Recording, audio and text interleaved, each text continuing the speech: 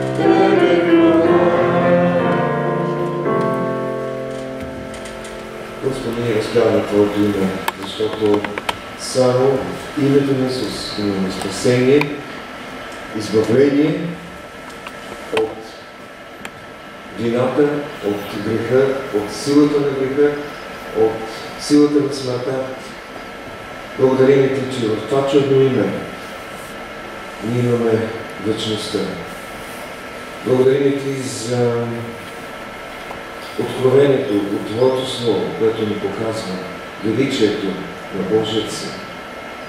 Този, който е възвесен от дясно на Отца, който е изпратен Святия Дух и сега ни води да му се поклоним в Дух истина.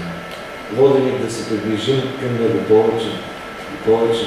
Водени в едно бъдеще, което е в ръцете на Господа, но знаем, че сме в най-добрите ръце. Спасителю, благодарим Ти за всичко и да се покланяме сега. Благослови нашето събрание, благослови светиите навсякъде, които търсят Твоето лице и призовават Твоето благословение, мъдрост и вдъхновение, водителство за през тази година. Да бъде славено името Ти.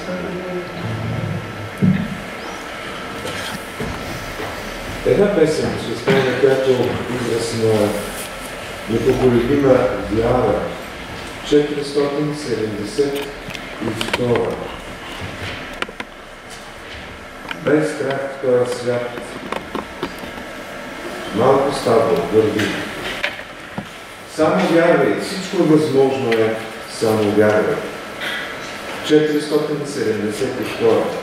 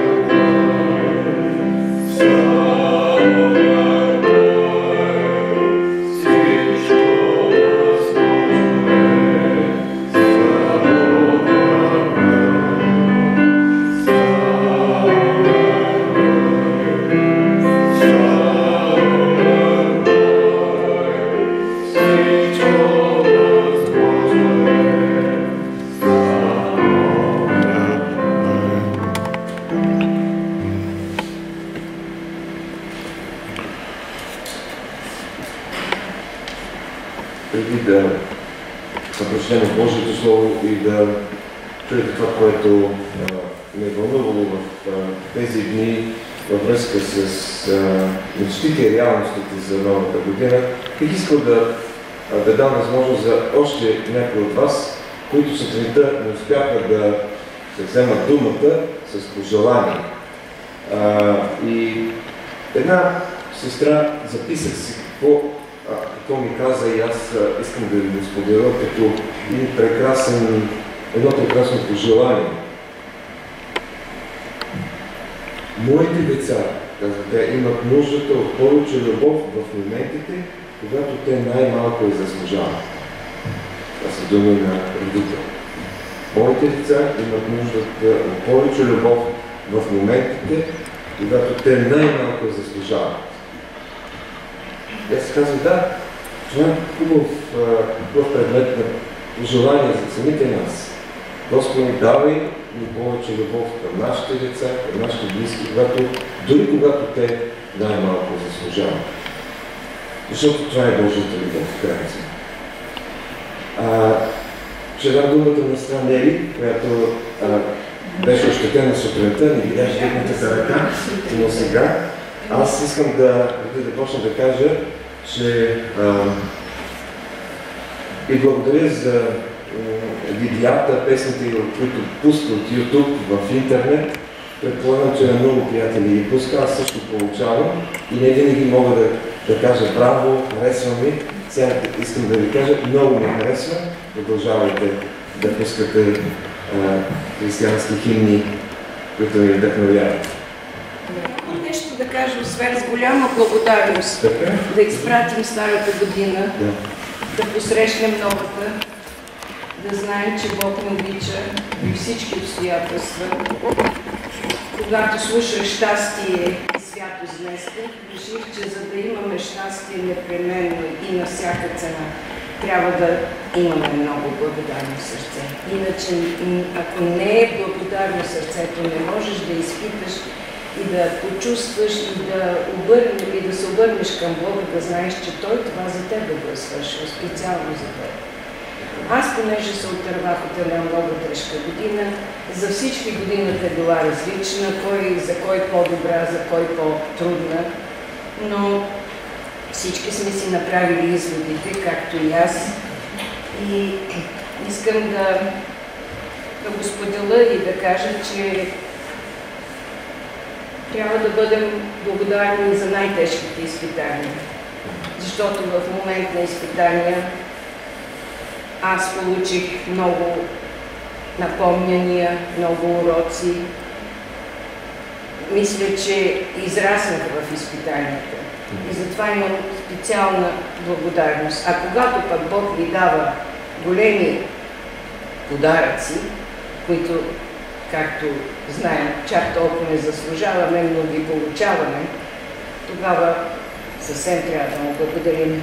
Споменахте нещо, от вие ми казахте днес, да, или в песента, да благодарим на Бога за бъдещето, което е приготвил за България. Смятам, че тази година също ще бъде много добра за България.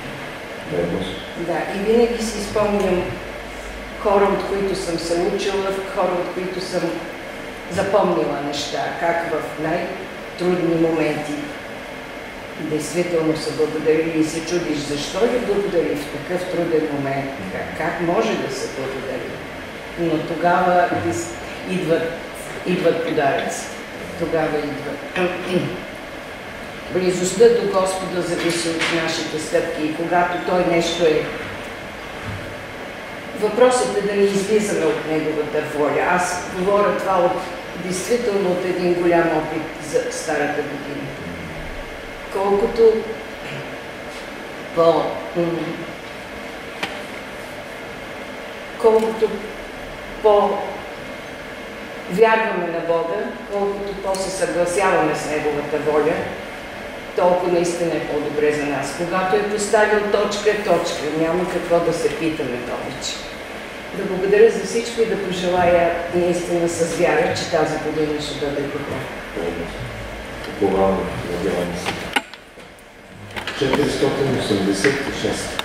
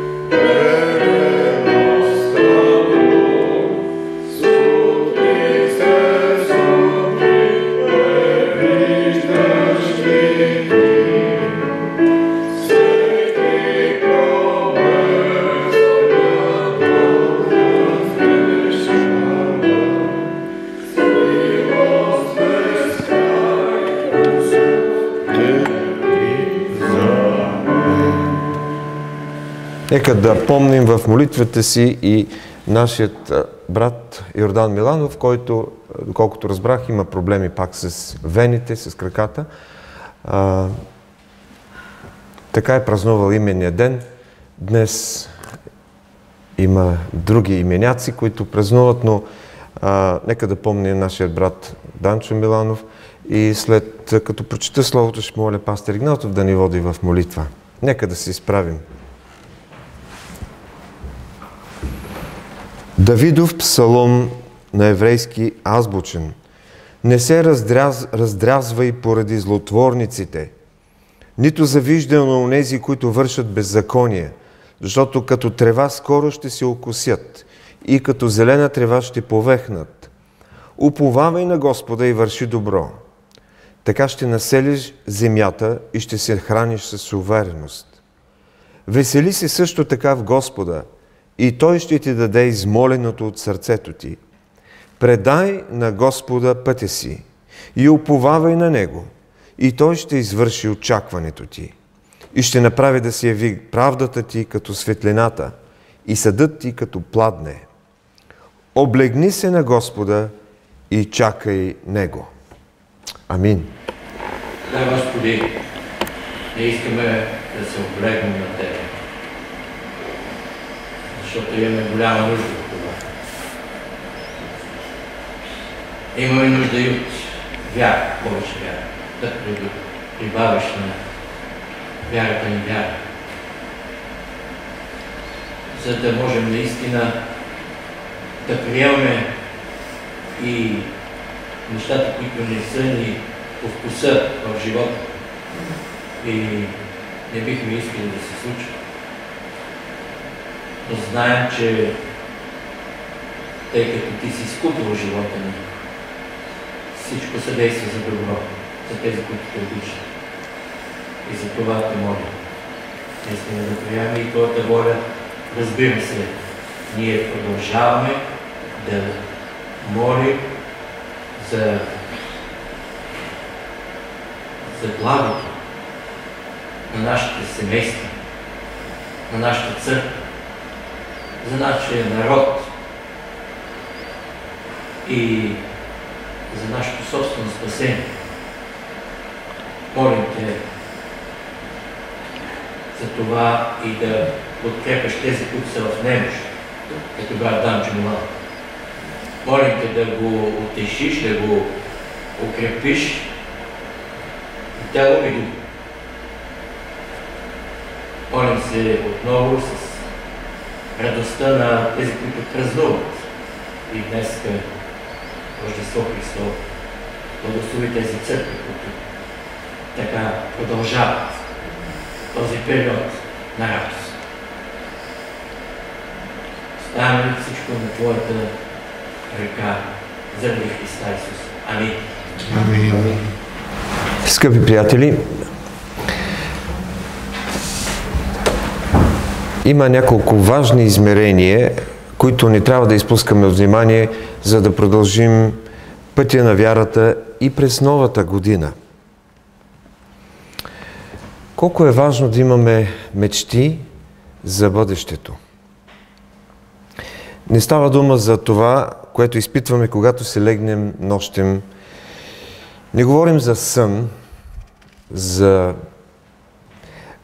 някакво съноведение, а говорим за мечта, за някаква боговдъхновена идея за нас, или план, или цел, която да ни води през годината и което да доведе до възхваляващи Бога резултати. Повечето хората не мечтаят достатъчно – ако някой а, ви попита за какво мечтаеш през тази година, какви са твоите надежди, какви са твоите планове, за какво уповаваш на Бога, какво бихте отговорили? Имате ли конкретен отговор? Не става дума само за нещата от професионален порядък. Някакси те са очертани, особено тези, които работят в големи фирми и нямат лична голяма отговорност за цялата фирма. Става дума за мечти, които дадат резултат в изграждане на нашия характер, в това, което култивира Божията правда и Божието водителство в нашия живот. Мечтите са конкретни, а не общи. Те са лични, а не публични. Бог не дава на някой друг около нас моите мечти, нашите мечти, които да бъдат открити за всички. Той ни ги дава лично за нас. Те са съкровени образи и идеи. За някои мечтите, нашите лични мечти могат да се видят като нелогични или крайни. Ако споделиш някои от тези твои мечти с тълпата, може да ти се засмеят, може да не схващат логиката, защото имат друга гледна точка. Мечтите са силни в това, че те дават желание да бъдат изпълнени. И та, дори да изглеждат неочаквани и нереални, дори да са шокиращи понякога. Когато някой чуе за някоя наша мечта, може да остане с зяпнала уста и да няма какво да каже.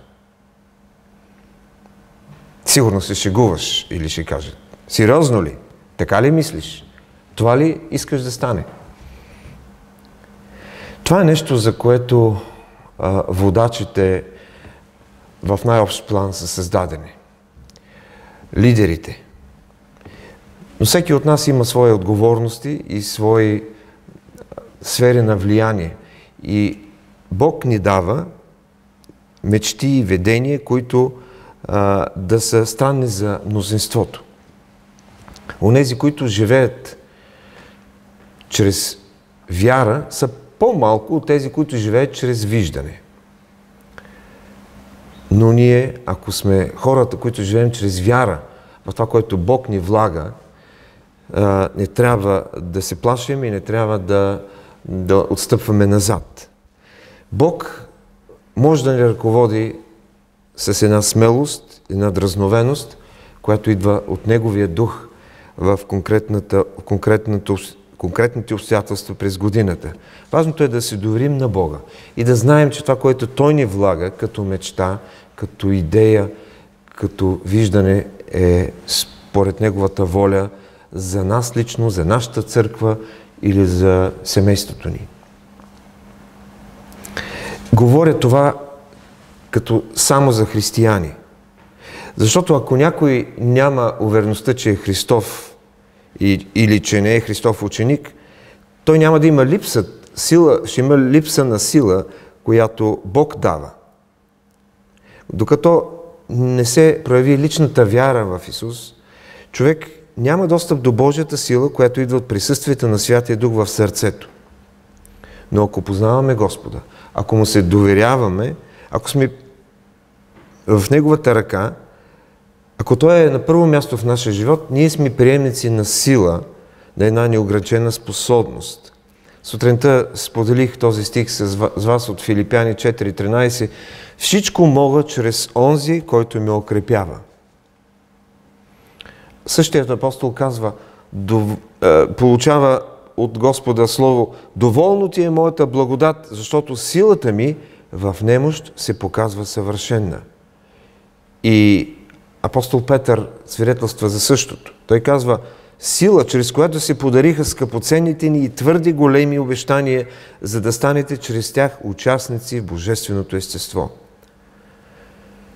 Бог някак си е поставил вътре в нас, във всеки един истински християнин нещо специално, един резервуар на сила, коя, който резервуар е неизчерпаем.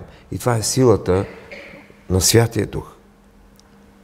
Уместен е обаче следния въпрос. След като говорим за този чуден вътрешен извор на сила, защо понякога чувстваме, че сме безсилни? Има две малки думички, които си приличат, но са толкова различни. Не мога и не искам. Ние като християни трябва да сме особено внимателни, коя точно да използваме. И изглежда, че предпочитаме да използваме думата не мога. Не мога да понасям жена ми. Не мога да разговарям нормално с мъжа си. Не мога да се откажа от този вреден навик. Не мога да спра да прияждам. Не мога да намеря време да се моля и да чете Библията. Не мога да спра да предавам новинки за други хора. И всеки християнин, който приема на сериозно библейските текстове, които четох, трябва да изповяда, че правилната думичка не е не мога, а не искам.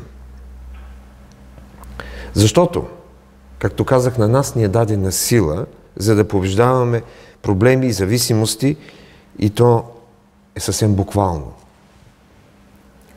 В една своя книга «Щастието и избор» авторите, които са двама лекари, Минирт и Майер, казват, като психиатри ние се свиваме, когато наши пациенти християни използват думата «не мога». Всеки психиатър знае, че «не мога» и опитах са почти неубедителни извинения. Ние настояваме нашите пациенти да бъдат честни със себе си и да използват език, който изразява истинската ситуация. Затова караме пациентите ни да сменят израза не мога с не искам. И когато това стане, човекът не може да избяга от истината, престава да мами себе си и започва живот в реалността. Какво тогава се получава? Ако замениме предните изрази, когато сме използвали не мога с не искам, става не, и не искам да търпя жена си. Не искам да разговарям нормално с мъжа си. Не искам да се откажа от този вреден навик. Не искам да спра с прияждането. Не искам да намеря време за молитва. Не искам да спра с клюките. Християният има всяко право и причина да използва а, не искам. А не християните могат да казват не, не мога. Защото те са жертви, хванати като роби на греха. И без Христовата сила те нямат необходимото да се променят трайно. Тяхното извинение не е истинско. Но за хора като нас, нека да посрещнем истината право в очите. Ние не искаме. Ние не се покоряваме, защото не искаме, не защото трябва, защото избираме това, не защото сме били притиснати.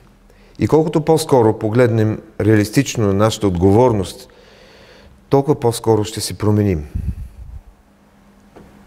Ако осъзнаем, че има нещо изразено чрез не искам в нашия живот, което до сега сме наричали не мога, да разговаряме с Бога, да кажем на Бога, да му помолим да ни даде от своята сила, да я приемем и да си покорим на истината.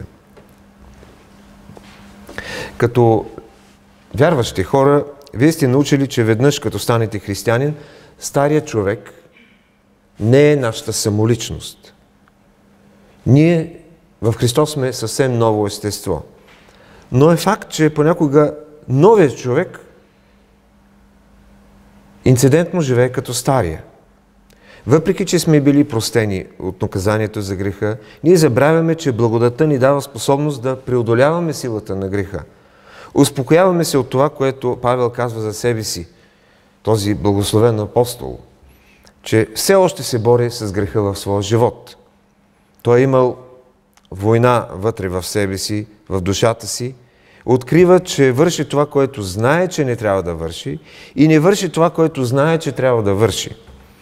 Наистина, родени сме в грех, но на кръста Исус плати цената за нашите грехове и ни освободи от наказанието за нашия грях, но Той ни освободи от силата на греха. И в крайна сметка е ясно, че не можем да живеем християнски живот от само себе си, а постоянно трябва да разчитаме на Неговата сила, за да имаме победи на всякакво ниво. Някак си това, което ви говоря, ви си казвате, добре, ние трябва да мечтаеме за велики неща в наш, нашия живот, за нашата годината, която е пред нас, но изведнъж се сблъскваме с една реалност и тя е факт. Не мога и не искам. Тогава как да успеем през годината? Какво можем да направим? Имам няколко предложения.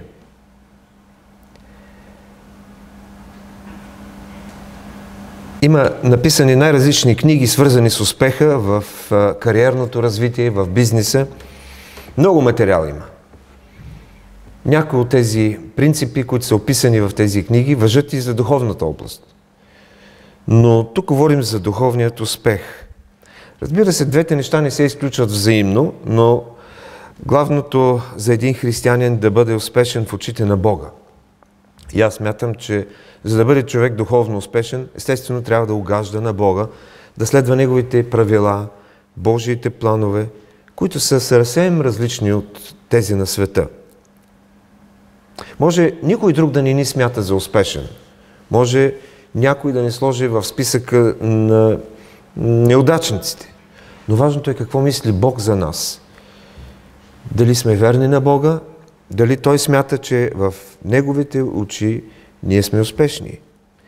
И затова предлагам пет неща, които ако спазваме в нашия живот през тази година, ние ще бъдем успешни. Първото е да дадем на Бога първия ден от всяка седмица.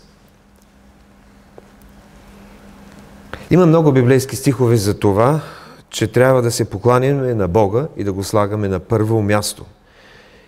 И този първи ден от седмицата е особено а, специален. И Той иска от нас да го почетем, да му се покланяме и да отделим известно време през този ден за Него. Това също трябва да е ден за почивка. Разбирам, че в нашия модерни, модерен свят понякога някои хора се налага да работят и в неделя заради бизнеса. Има такива със свободни професии, а, които работата е нон-стоп, така да се каже. И ако сте в подобен казус, отделете друг ден за поклонение, но това по-скоро трябва да бъде изключение от правилото. Неделята е избрана от християните главно за да си напомнят, че това е денят, който нашият Спасител е възкръснал от мъртвите. И това е първият съвет за успешно, успешен духовен живот през годината, първият ден от всяка седмица. Второ, да дадем първата част от всеки ден на Бога. Няма предвид само неделите, както казвах до сега, но и всеки ден. Да започваме първата част от деня си с молитва.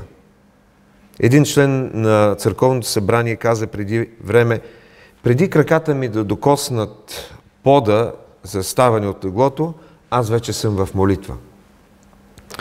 После сядам на края на леглото и довършвам молитвите си преди да стана, да се облека и да продължа деня си. И смятам, че това е един ценен съвет за повечето от нас. Да започваме всеки ден, всяка сутрин, с молитва към Господа и да отправяме хваление и благодарност и а, да просим от Него ръководство през целия ден. Трети съвет. Да даваме на Бога първата част от дохода си. Аз казах първата част от дохода си, а не десятък. Много християни, много хора използват десятъка като начин да кажат, че дават така, както Бог им е казал.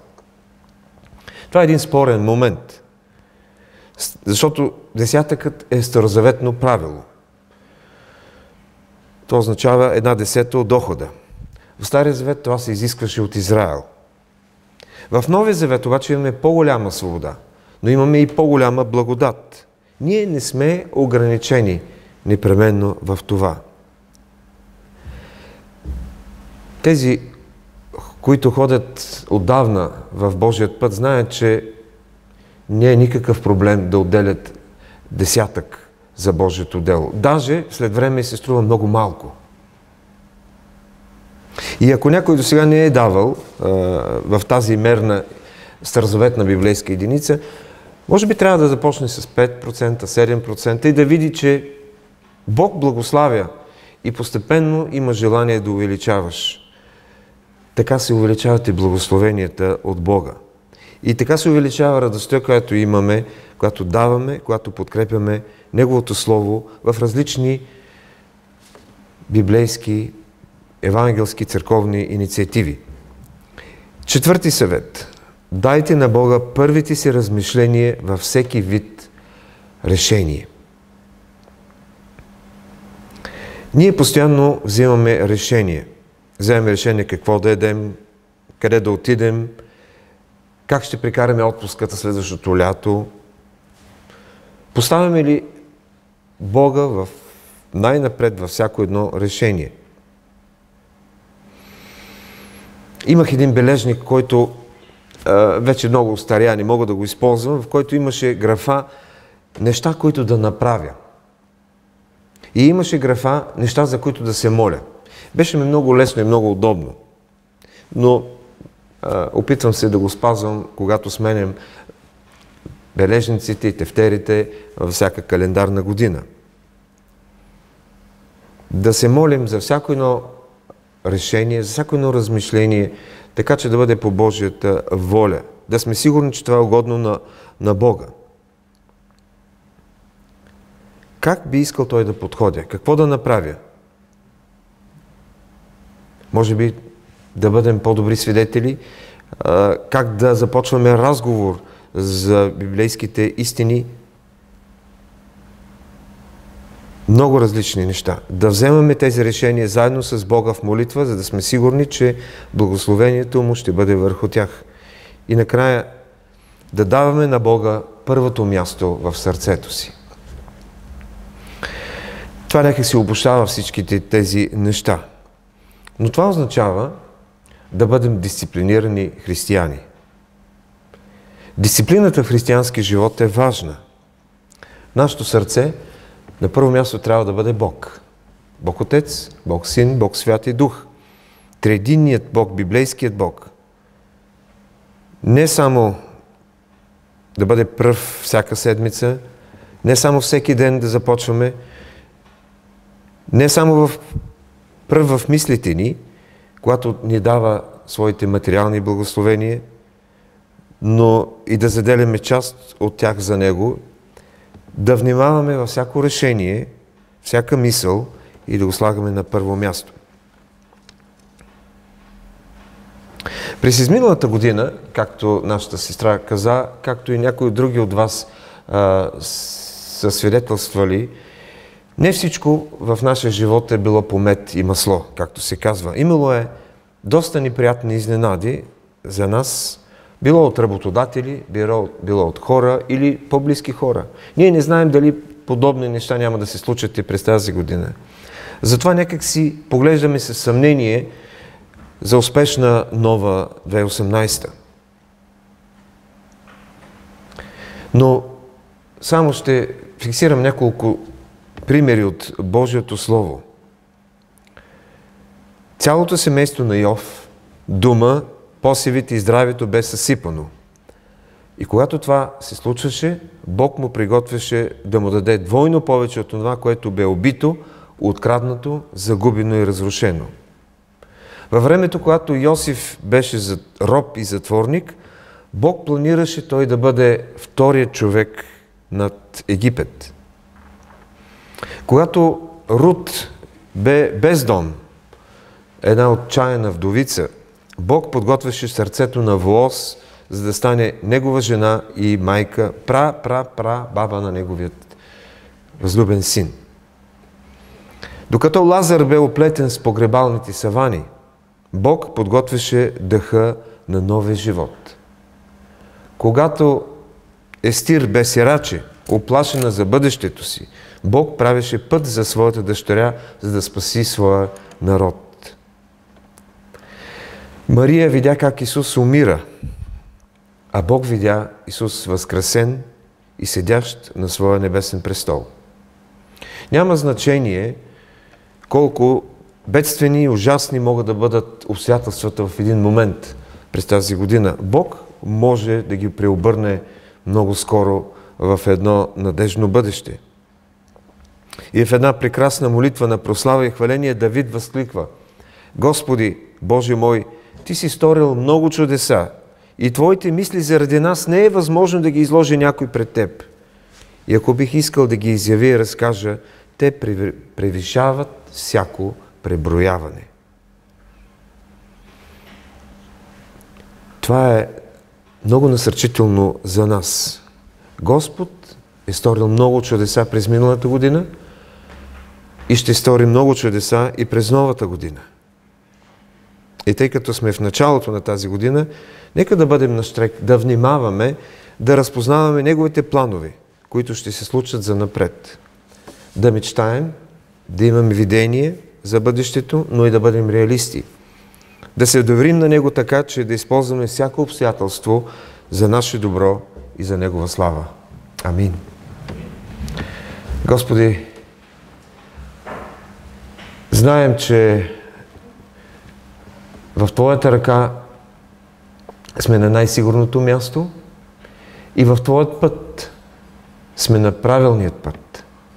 Пази ни от а, наши човешки размишления и ни дай Твоето вдъхновение за бъдещето, близко и по-далечно, които, което, които видение и мечти да бъдат съобразени с Твоята върховна и свята воля за нас. Как да изграждаш нашия характер? Как да ни поставяш в положение, когато да бъдем бдителни и да избягваме онези изкушения, които ни смъкват долу. Как да бъдем по-добри Твои поклонници. Как да даваме пример на тези, които, на които, за които се молим и на които сме говорили за Тебе. Как да бъдем Твои свидетели. Молим Те. Дай ни радост, радостта, щастието, да знаем, че сме в Твоят път и че сме в центъра на Твоята воля и Ти си центърът в нашия живот. Молим Те, благослови ни. Очакваме да видим това, което си приготвил за нас. И Ти да се прославяш във всичко. Амин. Както вече сте видяли в бюлетина, в последната страница, от утре започва молитвената седмица на църквите от Евангелски алианс в София. Няма да изброявам утре, други ден и през цялата седмица в кои църкви, къде, какви събрания има, какви теми за молитва. Вие може да ги намерите.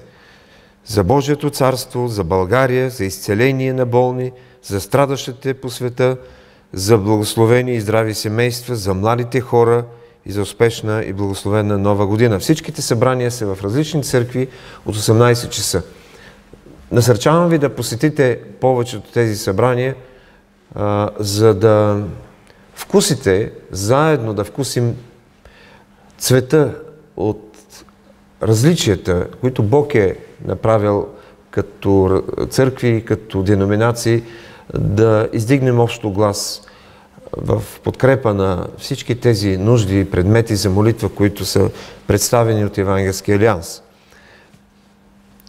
Ние ще имаме нашето молитвено събрание в среда, тук на това място, но извънредно в петък имаме, а, ние сме домакини на а, молитвено събрание за здрави и благословени семейства. Да дойдем и да дойдем с дух на молитва, защото знаем, че Бог очаква ние да, да просим тези неща, да търсим Неговата воля, да купнеем тя да се осъществи в а, нашите църкви, в нашия живот.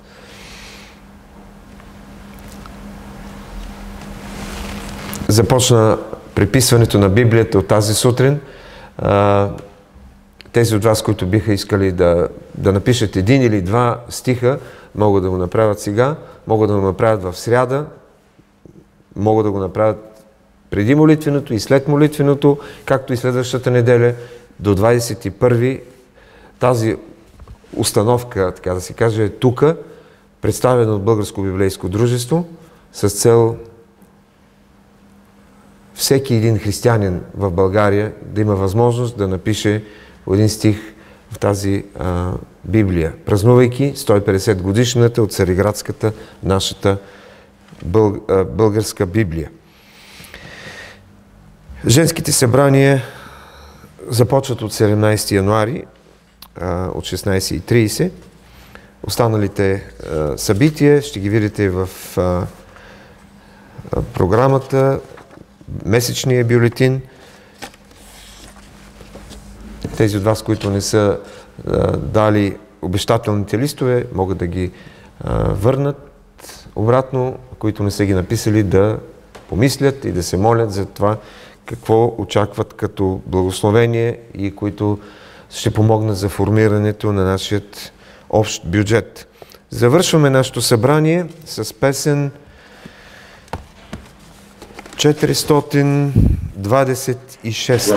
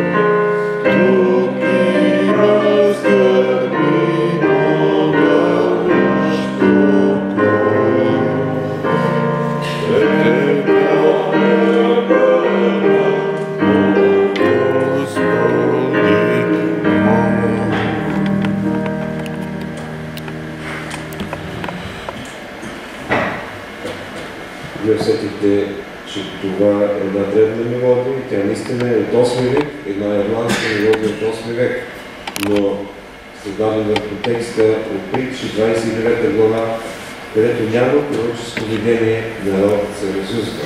Но Бог да ни даде видение за това, което върши, да бъдем част от това видение и изпълнението. Бог да ни И сега, благодаря нашия Господ Исус Христос, любовта на Бог Отец, присъствието, ръководството, общението и силата на Святия Дух да бъде и пребъде с всички нас, децата ни, домовете ни, църквата, това място в нашата страна и по целия свят, сега е и през вековете. Амин.